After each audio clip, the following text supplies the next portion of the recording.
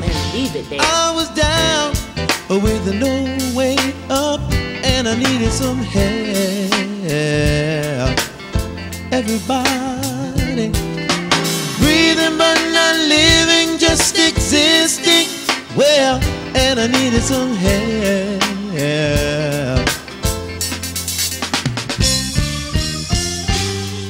Somebody told me that Jesus will set you free. I tried it for myself and now I know what he did for me. Hello, I am Pastor James Allen Dunkins. I'm the senior pastor of Shiloh Baptist Church, one church in two locations. I am so glad you decided to join us. Check out our program, check out our viral worship, check out our church in general. There are a lot of great things hi- happening in Shiloh. Please go to our website and see some of the great activities that we are doing here uh, in our area. Some of the things that we are doing to reach people for Christ. We are a kingdom church who believes in kingdom building, who is helping to change people's lives. Check out the message today. Go to our website, check out our other messages. We are so glad to make you a friend of Shiloh Baptist Church. God bless you. This is Pastor Duncan saying, Have a blessed day.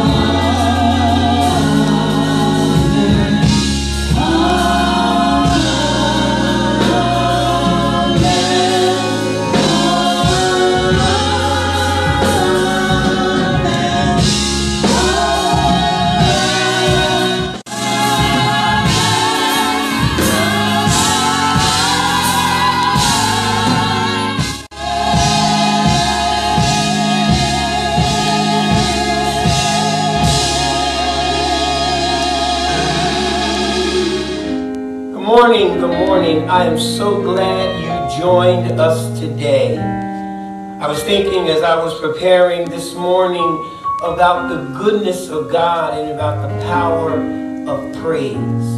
I wonder if there's any praisers out there because I'm going to solicit your praise to hold us up today. But there is a word from God. This is Pastor Duncan. You tuned in to Shiloh Baptist Church, Shiloh Ministries and we love to worship and praise the living God. I'm going straight to the word. The praise team was off the hook as usual. They've already lifted God up, so I need you to prepare to go with me to a very uh, familiar but powerful passage of scripture. Oh, there's a word today. Someone get ready. Hit someone, call them up, Instagram, YouTube, Facebook, wherever you have to go. Let them know there's a word they're going to need that's being delivered right now at Shiloh Baptist Church. Go with me to the book of Genesis. Genesis chapter 1. Thank you, musicians. Our musicians play so wonderfully and give me that preacher feel while I'm getting ready to go where I'm going. I'm again glad you tuned in and chose us to be a part. We don't take it for granted that you're here at the Shiloh Ministry site getting the Word of God for today. Genesis chapter 32, beginning at verse 22. There it is, Genesis 32. I'm going to begin reading at verse 22. If you have difficulty finding the book of Genesis, I'm going on without you. Genesis 22 from the King James Version. And he rose up that night and took his two wives and his two women servants and his eleven sons and passed over the ford of Jabbok. And he took them and sent them over the brook and sent them over that he had. And Jacob was left alone there and wrestled a man with him until the breaking of the day. And when he saw that he prevailed not against him, he touched the hollow of his thigh. And the hollow of Jacob's thigh was out of joint as he wrestled with him. And he said, Let me go, for the day breaks. And he said, I will not let thee go, except you bless me. And Jacob said unto him, and he said unto him, unto Jacob, What is thy name? And he said, Jacob. And he said, Thy name shall no more be called Jacob, but Israel. For as a prince thou hast power with God and with men, and has prevailed. And Jacob asked him, said, Tell me, I pray thy name. And he said, Wherefore is it that thou dost ask after my name? And he blessed him there. Let's pray right now. Will you bow with me? Oh God, we praise you and thank you for this day and for the joy of another day. And as someone is listening to feed and nourish their hungry spiritual soul, allow this word to be exactly what they needed. You're that kind of God, Lord. From your celestial throne on high, you look down and supply a need even before we know we need it. So right now, God, we're counting it as done. We're counting a victory has come already because of who you are and what you've done. In the matchless, marvelous name of Jesus, we pray. Amen. For as long as the Spirit will allow, I'm going to speak from this thought. I want you to get it deep down in your spirit. Keep struggling. Your blessing is coming. Keep struggling because your blessing is coming. Can I say that again to put the emphasis where I need to put it? Keep struggling. Your blessing is coming. Let's talk about this. We are living in some very tough times. These times have people struggling a lot more than they normally do. Life has always uh, permitted us or presented us with challenges and with things that we've had to struggle through situations. But 2020, my God, is going to go down in history as a year that radically changed our world and the way that we live. What am I talking about? It has changed our, in us in the areas of making a living. Something as simple as making a living. It has changed us in the areas of uh, important milestones. It has changed us in the areas of looking at how we do everyday activities. Let, let me get to this. So what am I talking about? How is making a living? Uh, unemployment is at an all-time high. Joblessness seems to be going up and growing off the hook. Many people are signed up for unemployment benefits. People are struggling, struggling, I said, to pay their bills. Why are they struggling to pay their bills? Big companies that were household names are now going out of business, and little companies that may never recover from this pandemic. And that government stimulus check, uh-huh, that you were depending on, sometime is too little, too late, and can't pay your bills. So folk are struggling with the bills, not only in areas struggling with the bills, but making or important milestones. You know what kind of important milestone? School. How many of us know growing up, our socialization, the important things in our life as we were younger came through when we were at school. We learned who we were. That's where at school we had proms and we had our graduations and we had our football games and we had homecoming and we played sports and all of these things some young folk have missed because of the pandemic and they'll never get them back. They're important milestones in our life. Or registering for college and going on the campus and filling out or furnishing your dorm room. Those are some of the important milestones we miss. And then also everyday stuff. I'm talking about something as simple as dinner and a movie, which used to be my relaxing point, where I could go out, have dinner without worrying about a mask, someone coughing on me. We could sit where we want and socialize and watch this. Sports, playing sports and watching sports have all got people struggling and overwhelmed during this time. And the worst one at of all is church. I'm not even talking about the cultural, the cultural thing that turns us on of high fiving. I can't even high five my brother. And not only can I high five, I can't go to church and hold hands and worship God anymore. I can't even look over, tell your neighbor, tell your neighbor, you can't do that anymore. Your neighbor might run you out the church. All I'm saying is this is a time of struggling. What do I mean, what do I mean by struggling? This is a time when people are overwhelmed by their struggles. But have I got some good news for you this morning? Have I got a word for you this morning? This message was dropped in my heart right out of the Spirit of God where God wanted me to tell you that the only reason you are overwhelmed today is because you don't understand the value of real struggling. You have no idea that it is not the good times in our life, it is not those easy times in our life, but it is those times that we struggle that gives us our greatest blessings. And folk need to understand when we struggle, that's when we turn out to be stronger. You heard the German philosopher uh, uh, Nietzsche who said, German philosopher Nietzsche said this. He said that we need to understand. I know you've heard this old adage. It says, whatever does not kill you makes you stronger. Frederick Nietzsche knew what he was talking about. He was just saying, if I make it through it, I come out better than I was. In 1857, one of the most important black men in our history, Frederick Douglass, the abolitionist, the reformer, the orator, the great orator, was speaking at the West Indies celebration of slavery ending in the West Indies. And his speech that he spoke has been quoted over and over again. There were two lines in that speech that people say are still relevant because they hit the core of understanding what it means and the benefits that we get through struggle. And what did he say? Down in his message, Frederick Douglass said this, and if it was today, Frederick Douglass' message would be going viral because here's what he said. He said, where there is no struggle, there is no progress. You've heard it before. Frederick Douglass said, where there is no struggle, there is no progress.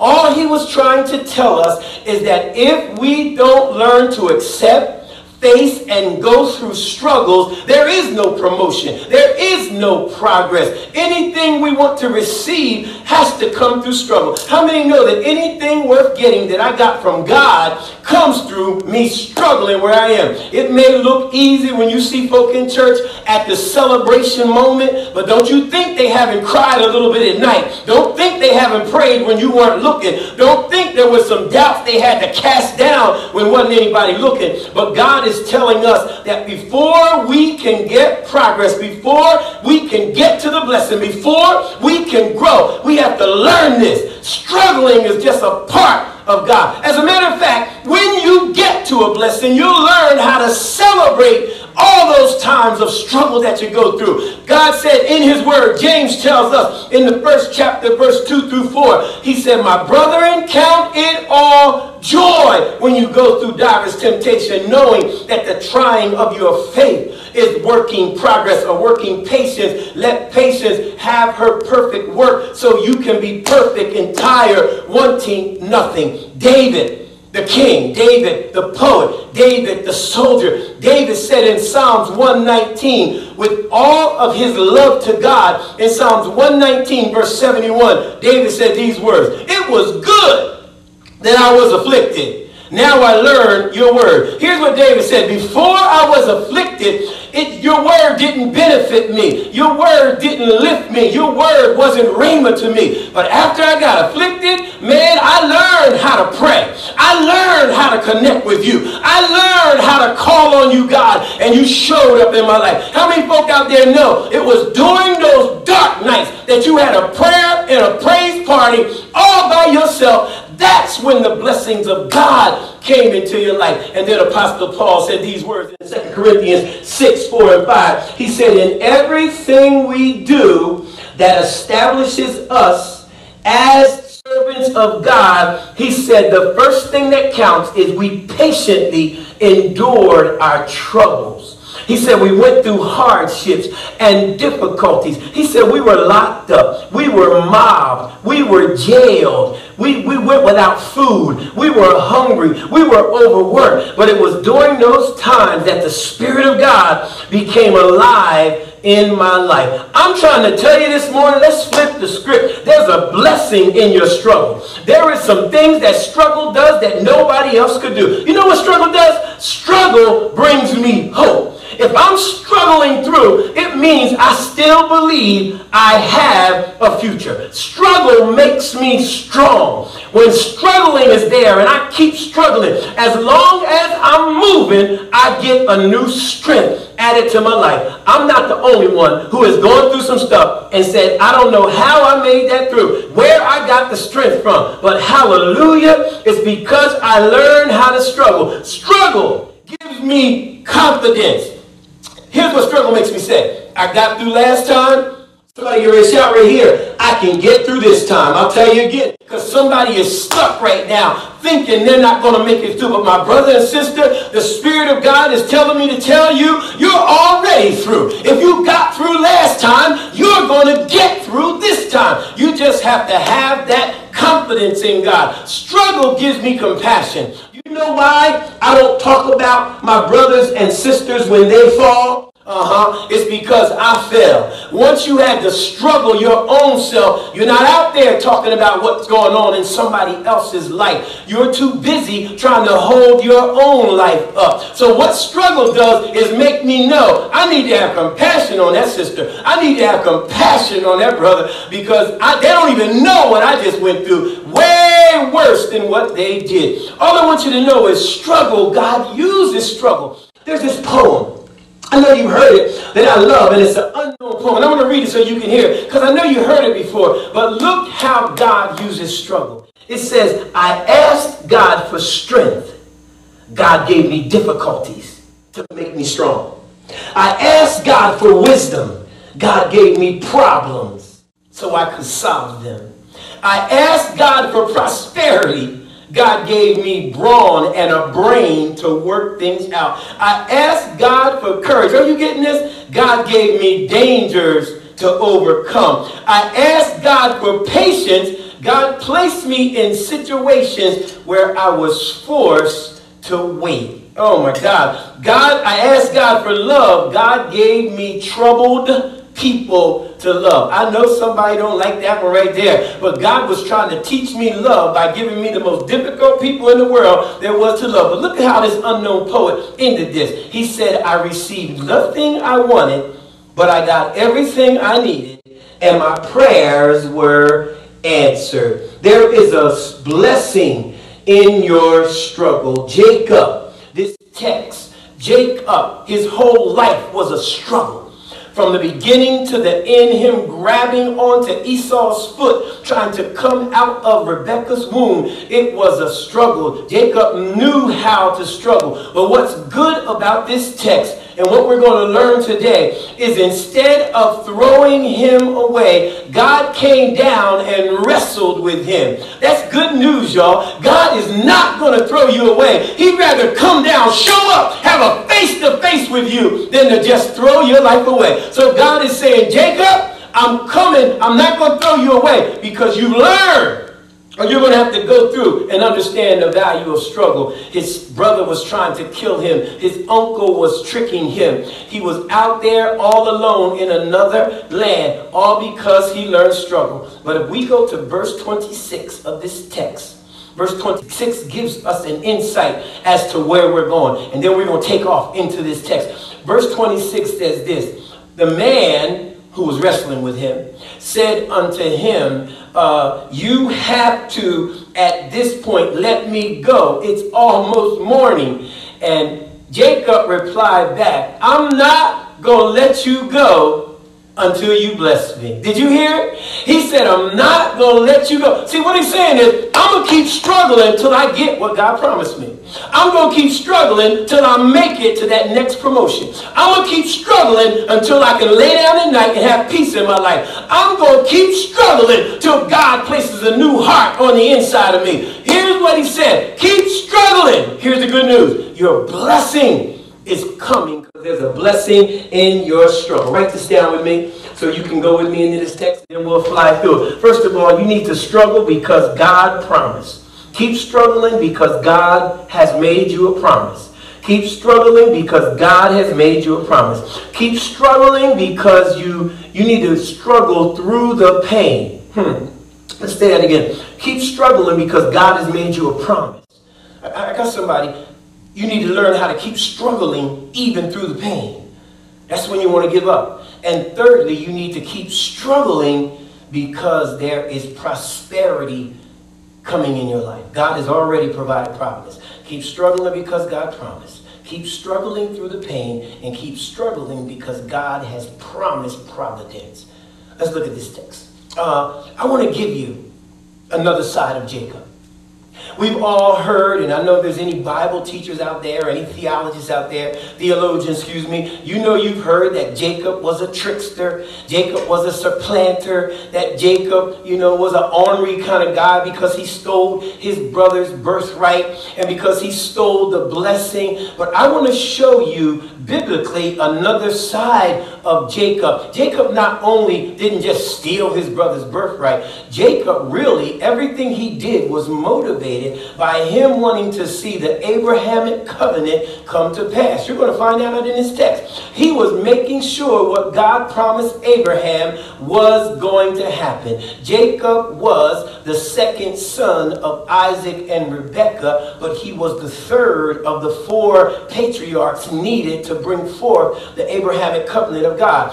The fourth one was Joseph, who was on the way. But Jacob stepped up and became that third patriarch. When he was born, Esau was hairy and, and he was covered with hair and red all over and rough. And he became a hunter and a woodsman. And he became Isaac's favorite because he would go into the woods and catch the meat that Isaac used to love. And then Rebekah said that Jacob was her favorite. So Jacob would sit around. You know, he was cooking his brother the soup. He learned how to cook and hang around and read the scriptures. And Jacob had a different exterior than Esau did. And we found out that he went in orchestrated by Rebekah. He not only stole his brother's birthright, he didn't steal it. Esau gave it up because he despised it, but he stole it, as the scripture said. And he got the blessing orchestrated by his mother. They tricked his father, whose eyes were getting dim. Well, when Esau the hunter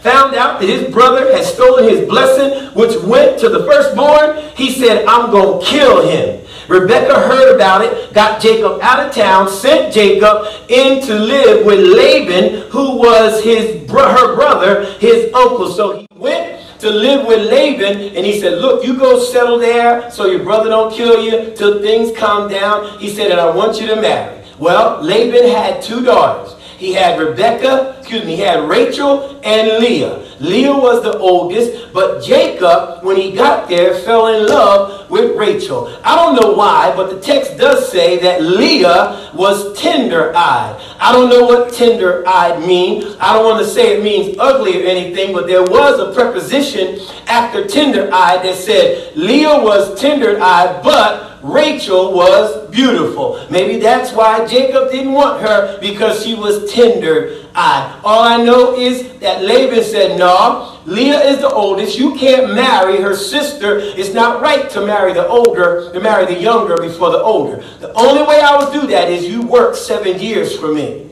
He decided, I want Rachel. I'm going to work those seven years. He did. As he worked those seven years, at the end of them, his uncle Laban tricked him and sent Leah, old tender-eyed Leah, into the tent that night. He slept with her, so I guess her eyes didn't make that much difference. And then he got out, he was angry, and his uncle said, you now have to seven more years if you want Rachel. He decided that I'm going to work those seven more years because I want Rachel. Well, then that's what happened. He began to work, but in the interim, Jacob started having kids. He now had two wives, and now he had 13 children. What am I saying? Leah, his first wife, gave him four sons. Then later, she gave him two more sons and a daughter. So Leah had seven children. Rachel, the last two sons were born by Rachel, and Rachel had two sons, and those two sons uh, added up to them having nine children, but then two by Bildad, who was Rachel's maid, and then there was two by Zilpah, who was Leah's maid. What I'm telling you is Jacob had 13 children by four different women, and it was okay, but we'll talk about that in another sermon. Let's move on. So it found out that he had 13 children, and the 12 sons of the tribe of Israel were born. Well, after working, Jacob said, Look, I'm yearning for home. I need to go back home. And he went to Laban, and Laban didn't want to let him go. He said, Pay me off. He said, How much I owe you? He said, You don't have to pay me in money. He said, I want you to pay me in livestock. So he said, Look, I will take just all the speckled and the spotted cows and goats, let them be mine, and you can have the rest of them. Laban agreed. Laban took all the speckled and the spotted out and said, We're going to start all over. Well, God intervened. Watch me, y'all. If you read that text, God intervened and he showed Jacob in a dream how there were going to be more speckled and spotted cattle. And the next thing we know, Jacob is rich. So Laban really didn't want him to let him go then. Then his Laban's sons got angry, so he took off and snuck away. Laban caught up with him. But when he caught up with him, God intervened and they made a covenant. So he was fine. But as he was leaving with his two wives and with all of his goods and with all of his kids, he found out his brother Esau was coming too. Here it is. Jacob was heading home. Esau was heading toward Jacob. Jacob was tired. He had been tricked and messed up all his life. And where we are right now in this text is what Jacob did. How we got here was Jacob sent his servants and his wife on ahead of him to meet Esau. Because the text tells us about how he keeps struggling because they promised. Look at verse 22. He arose that night took his two wives, his two female servants, his 11 sons, and crossed over to the ford of Jabbok. He took them over the brook and sent over what he had, and Jacob was left alone to wrestle with a man of God. How Jacob got alone was out of fear, out of frustration, out of struggling.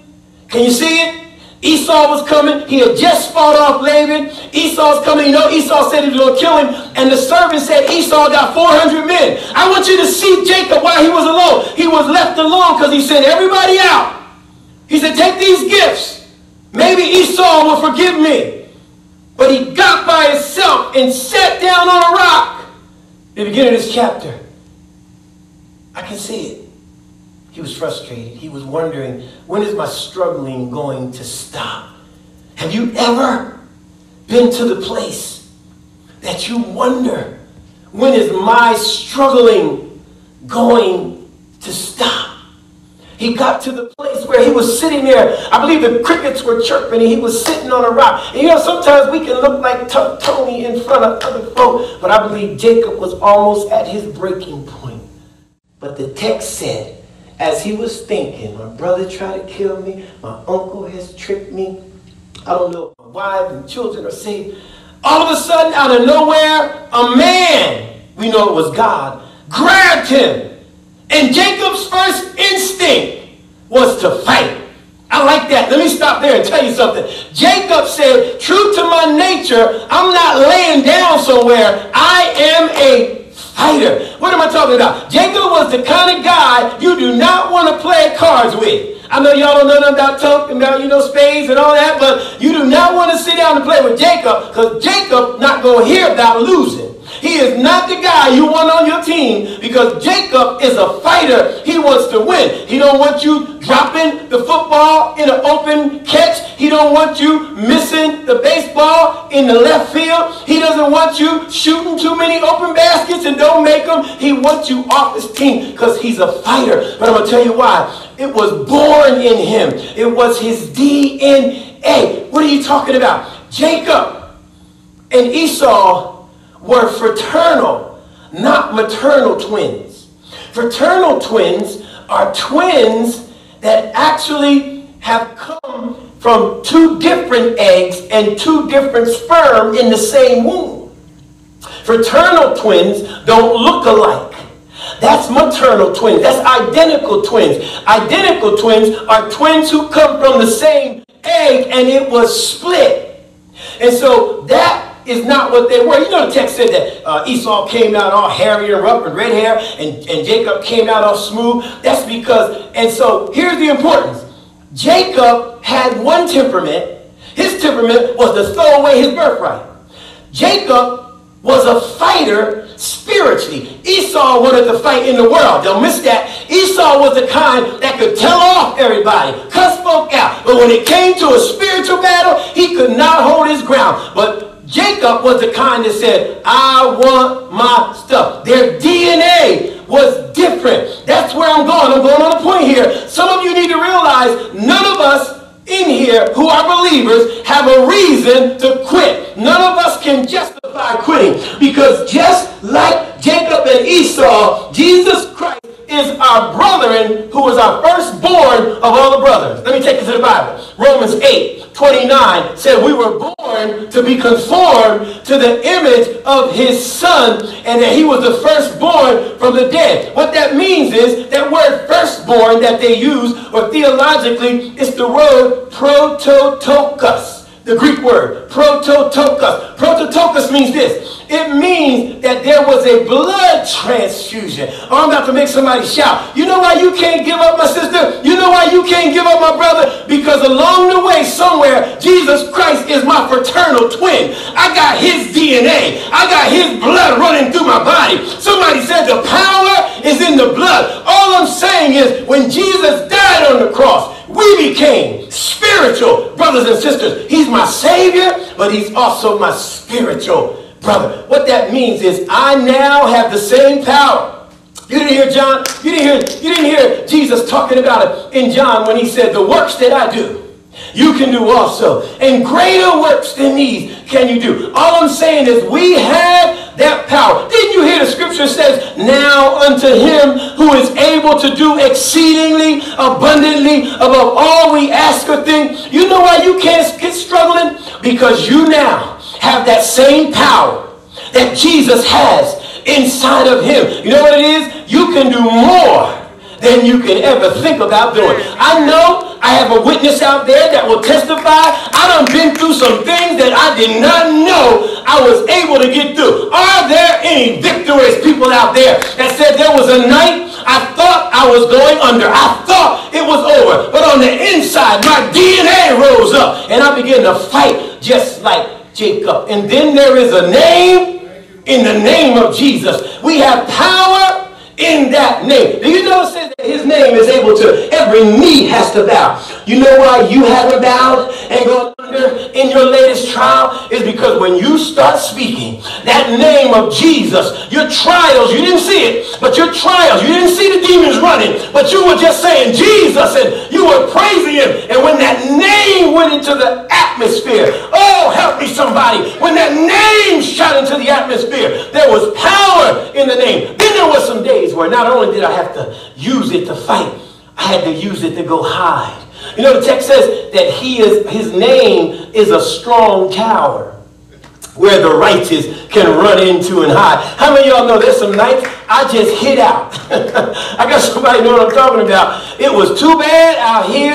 I found me a name of Christ. I found my secret place and I hid. You know, I told God, Lord, protect me till the morning. And because I am his fraternal twin and because he likes to fight, he instilled in me this fighting so I could make it through that night. And finally, in the book of Acts, chapter 1, verse 8, it says that, and you shall receive power. All I know is we have power. So don't you tell me you had to struggle. No. Esau gave up because that was in his DNA. Jacob gave fought because Jacob said, that's my DNA. All I'm telling you is, who are you? Are you Jacob or are you Esau? You got to make up your own mind. Then the other part of this text says, that he, I'm still on the first point. Look, it says that he fought because of the promise. Understand something. If we go to Genesis chapter 25, and if we look at around verse 23, we'll find these words there. It says, when Rachel, Rebecca was pregnant, it says there's two nations in your womb. There's two kinds of people in your womb. I just told you, either Jacob or Esau. He said, and one shall be stronger than the other. But then there was a promise. Don't miss this. This is what I'm going to tell you why you got to see another side of Jacob. It said, and the younger is going to rule over the older. Wait a minute. How did Jacob have the tenacity to stand there on that rock and wrestle with God? It's because he was wrestling for the promise that he heard. All I'm telling you to do is keep wrestling for your promise that God has given you. He was wrestling for his promise. What do you mean? It means that he knew that text. I believe that Rebecca, because he was her favorite, I believe Rebecca, while Jacob was hanging around the house, Rebecca told him about the promise that she got from God in the womb. And I bet you Jacob was running around and saying, well, if the older, if the younger is supposed to rule the older, then I want my promise and I'm going to do whatever I got to do to get it. So if Esau doesn't want his promise, then I'm going to take it because I want it. I'll go even better than that. Do you know the Bible tells us in the text, when we go to Genesis, it tells us that Abraham was 100 years old when Isaac, the promised child, was born. We also know that Rebekah and Isaac were also barren, and so Isaac was 60 years old when Esau and Jacob were born. And we also found out that not only was he 60 years old, that means that Abraham must have been 100 and 60. Are you still with me? So Abraham was 160 and Genesis or Genesis tells us that Abraham did not die until he was 185 years old. Genesis 25, 7. So Abraham didn't die till he was 125 years old. That meant he had 15 years to talk to his grandson and give him the promise. What I'm telling you is Jacob got that promise day after day in his life and it messed him And you want to know how I know that I know what I'm talking about? Go to Hebrews chapter 11, the faith chapter, and go to verse 8. It says this, by faith, Abraham went to a country where he was not supposed to be going. Watch this. And it said, But he sojourned in a land and dwelled in tents with Isaac and Jacob, who were all part of the promise. Let's say it again. So, it didn't say he dwelled in a tent with Esau. The Bible said he dwelled in a tent, Hebrews 11 and 7, with Jacob and Isaac. Can't you see the picture? Granddad and dad and young Jacob start talking about the promise and the word. And Jacob heard day after day how he was 100 years old and he was too old to have a child. But by faith, God came through. Faith started ushering in in Jacob's spirit. Jacob started running around thinking, by faith, I can get anything from God. Abraham shared it with him. That means for 15 years, he sat at the foot of his grandfather and said, I'm going to hold on to the promise of God. He held on to the promise so the promise would make sure that it was inside of him. What am I telling you? I'm telling you that the promise ought to ring in your spirit.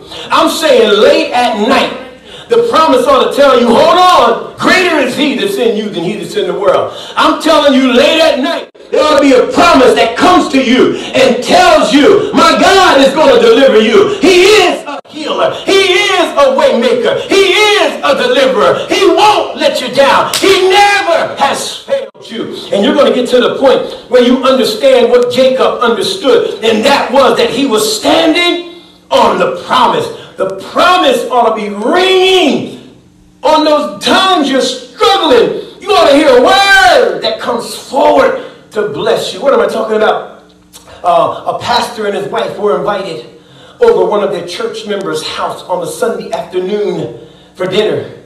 And when they were invited to go to dinner on that Sunday afternoon, the little girl was there after they enjoyed a nice meal. She said, I want everyone to come outside and see me jump with my rope. So they all went outside with her and her jump rope. And they were all sitting around. And the little girl took one jump and the rope got tangled up in her foot. So the pastor said, let me demonstrate how you're supposed to jump rope. So the pastor got out there and jumped one time and put the girl's feet in the right position. And as they were jumping, the little girl jumped once. And all of a sudden, everybody watched her start clapping. I mean, they were clapping and cheering for her. Then she jumped twice without missing. They started clapping, yay! Then one, two, three, four times she jumped all by herself. By the time she jumped seven consecutive times, she said, okay, y'all, I want to run over and tell Debbie, my friend, I want to show her I can jump. So they all sat back down and the little girl went around the corner of Debbie's house, but she came back about 15 minutes later, face all dejected, dragging her rope on the ground. The mom said, honey, what's the matter? Did you mess up? Could you jump? She said, mommy, I can do it, but I just need a whole lot of clapping while I'm doing it. All I'm telling you is God is up in heaven clapping while you're holding on. When you're sitting there and tears are coming down your aisle, I want you to hear God cheerleading and say, don't give up. I want you to hear God say, it'll be over after a while. I want you to hear God saying, keep struggling. You don't have to worry. All I'm telling you is God is always standing on your side, cheering you. And just like this little girl, if you make one good move. Hold on a minute, God starts clapping. Hold on five minutes, God starts clapping. Because God loves you enough. You just got to make up your mind. It says he wrestled with him till the break of day. He said, I'm not going to let go till I get my promise. The second point is we found out the man looked at him and said, look, it's almost daybreak. You got to let me go. And Jacob said, I'm not going to let you go till you bless me. Watch this. You know what he did? He grabbed him and pulled a shank out of his thigh. Understand this. Here's what happened. He decided that he was going to put some pain on Jacob. You know what the devil does? When the devil see you jumping around too much, when he see too much joy in your life, when he see you making it too easy, he throws in pain. He throws in something that makes you think you're not going to make it. You better hear me because all of us better understand something. We better learn to deal with pain. Pain is just a part of this journey on this side. Pain just means God is still working in my life. We better learn. I mean, we look at stuff and think stuff is easy. It has never been easy. Let me give you the picture. You know how you see sometimes on a movie, or maybe you've been in a hospital see it, not lately because of the pandemic, but there's a mother sitting there with that beautiful newborn baby and the baby's been lotioned down and smelling all hospital good and sitting in the mom's lap. It is the perfect picture of preciousness. But can we rewind back to the delivery room? You, you might see this pretty baby here, but how many know there was some struggle going on in that delivery room? As a matter of fact, I some experience right here. Let me tell you what happened with our firstborn. I'll never forget it. Marcia and I, as all young new couples do, we had gone to childbirthing classes. So we were sitting in there, and in those classes, they teach you to pant, pant, blow, blow. Teach you how to breathe. So I'm up there, I'm the coach. That's what they call us, the coach. So I remember sitting in there, those pains start hitting Marcia, and I was grabbing her, and I said, honey, pant, pant, blow, blow. I remember she was sitting there and she was squeezing, cutting off my blood. And I said, honey, and another pain hit her. She looked up at me and said, shut up, you breathe. I'm already breathing. She said, I ain't doing no more pant, pant, blow, blow. Hold on. And she grabbed my arm and I just shut up. Because the pain, because somebody Somebody say the pain is real. It might be a beautiful baby coming later, but you have to stand through the pain. Jacob was sitting there that night and he decided while this man had him in pain, he said, I'm not letting go. Do I have somebody know what I'm talking about? Until you bless me. I'm not going to quit till I get what I know is mine. And they were shaking him. And the devil likes to shake him. There are three struggles major struggles that everybody has to go through in order to handle the little struggles in your life. Go with me, it's right there in the text, because here's what Jacob had learned sitting there, because that old Jacob would have given up. He would have been conniving. He would have did a trick. But this new Jacob said, I've been through too much to back out on God right now. I'm holding on. Any holding on? Fuck out there know that it's time to just hold on because I know sooner or later God's going to bless me. But here's the first one. The first one you need to understand is 1 John 2.16. You better learn. Here's the first big battle. You better learn, it says, all that is in the world is the lust of the eyes, the lust of the flesh, and the pride of life. The first thing you have to conquer is this old flesh. It will get you in trouble. Your flesh, you got to fight not having your flesh in control. Come on, you know what I'm talking about. I know you spiritual well and all that stuff, but that flesh will rear up anytime, and we want to make sure the flesh doesn't make us miss our blessing. Because here's what the flesh does. It feels good while you're going through it. You know what I'm talking about? The flesh say, we can get to our dreams that God has for us. I can get to those same dreams drinking and drugging. And you know, out there doing a little sex, I can I'll make myself happy. The flesh saying if we get happy, we can get to our dreams. And the flesh sits there and lie to you. Now, after you get strung out, after you get hooked, the flesh will look at you because it has no answers. And you'll find yourself down in the dumps. Just like the young man that was giving a testimony at Alcoholics Anonymous. He said, when I graduated from Rutgers, I had an MBA. I knew by 30 I was going to be rich. I was going to be a market analyst. I had my life together.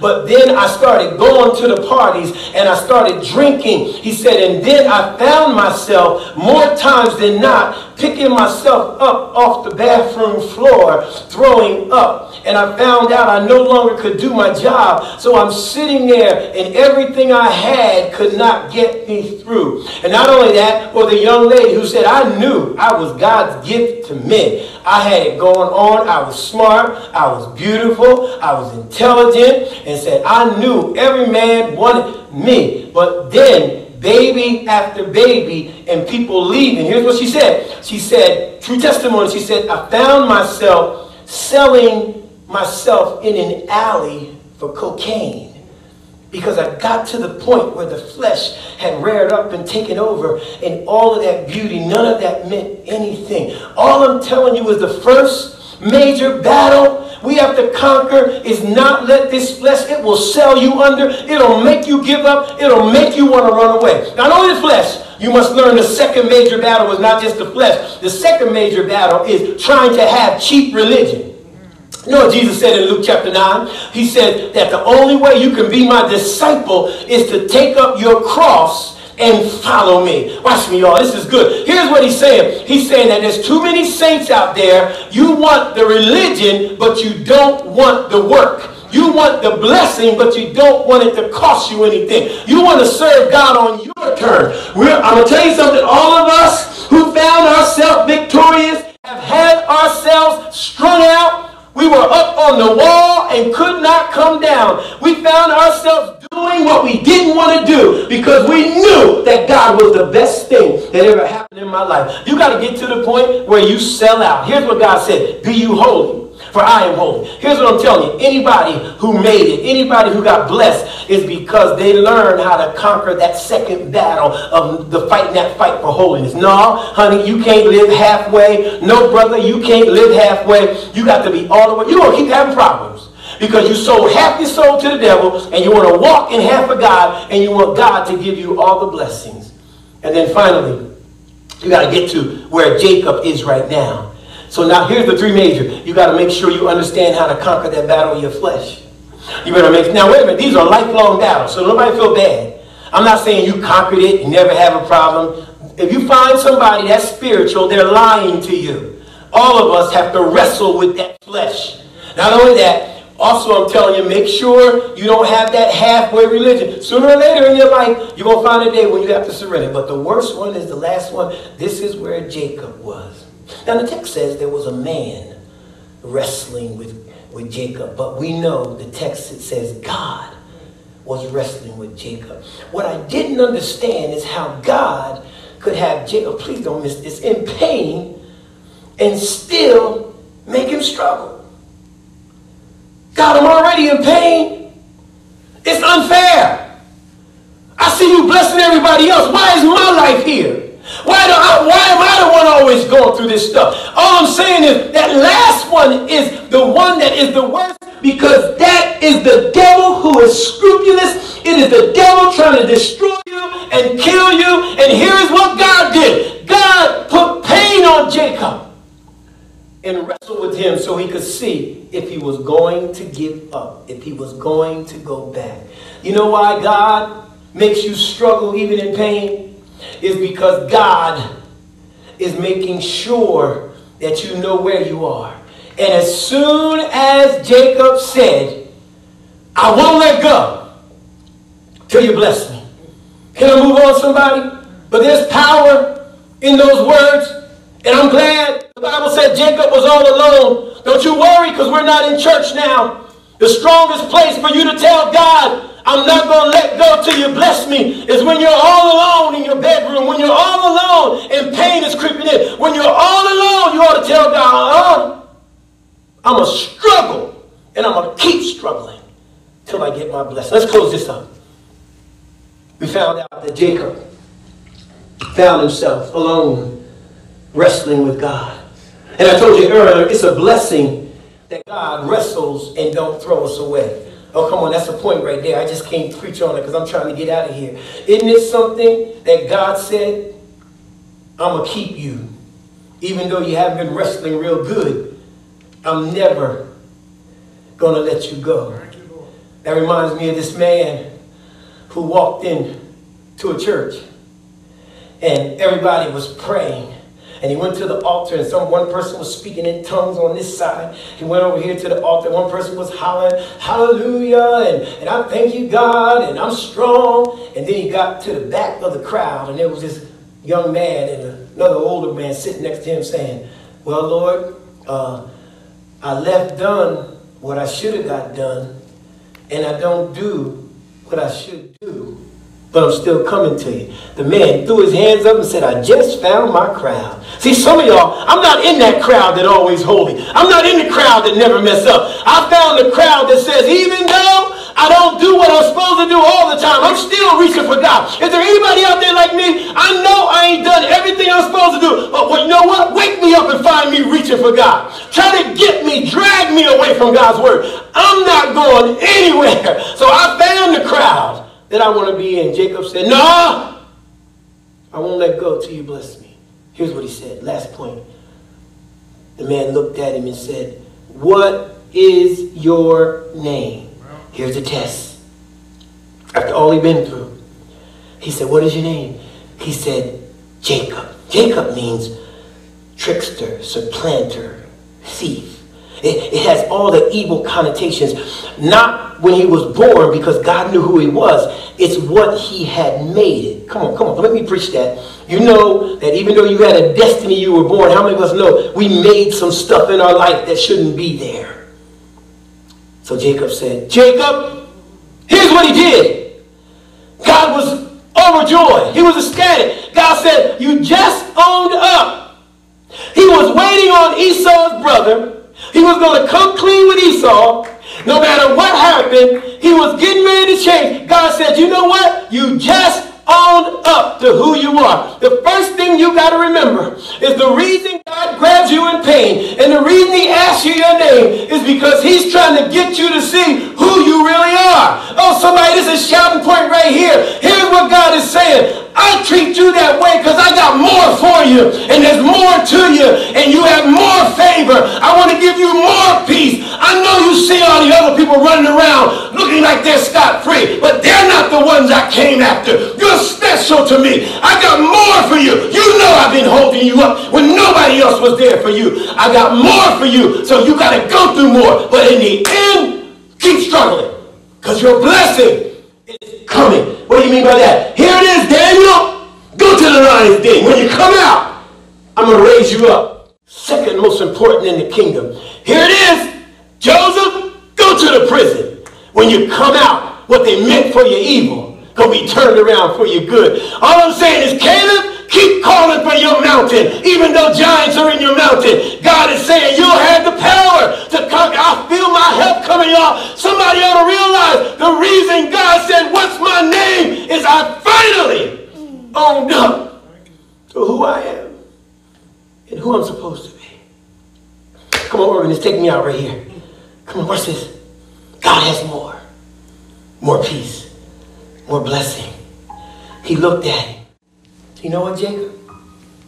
Forget your past. Your name is no longer Jacob, but it's Israel. Because you have prevailed with God and man. Listen to me, y'all. One of these days when your struggling is going on, you got to come face to face with God. Face to face. Just as you are. All your sin, naked as you are. You got to come face to face. And you know what he'll do? He'll grab you. He'll hold you. And he'll make sure that you know. Because you struggle, but ready to come clean, here is your blessing. You are now the patriarch to carry the covenant. My brothers and sisters, the power in struggling, the value of your struggle, don't you quit. That this is relevant for these times because people want to lose their mind. But you need to realize that struggle brings the blessing. I want to pray for you now. Will you bow with me? The Spirit of God is telling me there's somebody out there that needs to know what Jacob knew. I, I like the fact that the text said that he left with a limp. Those of us who aren't going anywhere, you may not be able to see our limp, but I got one. Can, can, can you tell your neighbor, I got a limp. There was a day when God woke me till I got to the point where I knew I wasn't going to serve anybody with him. And you know what happens? Every time I get all big and bad and want to step out, whew, that lip reminds me, you better stay with God. Let's pray. Father God, I thank you today. Somebody was at the end of their rope, but you want to let them know, no, keep struggling. The blessing's coming. And even after he became Israel, had power with God, he still had struggles. But every time he had a struggle, he did what the Jeffersons did. He didn't move out, he moved up. Some of us need to quit moving out and start moving up. Hang in there, my brother and sister. Just because you're struggling, God's going to reward you, and your blessing is coming. Amen. It's Pastor Dunkins. I hope you enjoyed this word coming from the heart of God. I want someone to know that no matter how bad your life gets, if you keep struggling, struggling, your blessing is going to come. Let's pray. If you're not saved, pray this prayer with me. Come on, come on, get ready. Don't be, don't be ashamed. This is how all of us came. Say, Lord God, I thank you for dying on the cross in my place. I receive that sacrifice. And now I am saved. Amen. Prayed that prayer, then you now have a new life. Call us. Um, go on our website. You can become a virtual member, but also we'll send you some information if you receive the Lord by watching this message. Also, you ought to go to our website and see some of the exciting things that's happening in Shiloh. We're in the midst of doing our free COVID testing.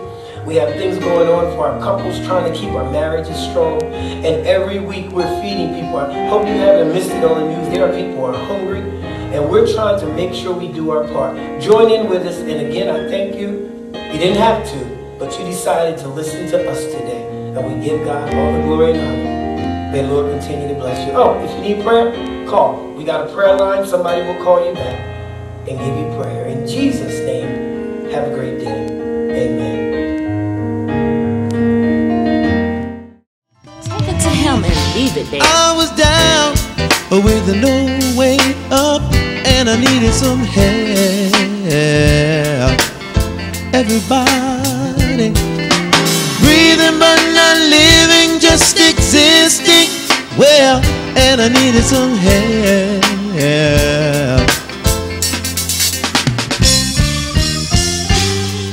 Somebody told me that Jesus will set you free.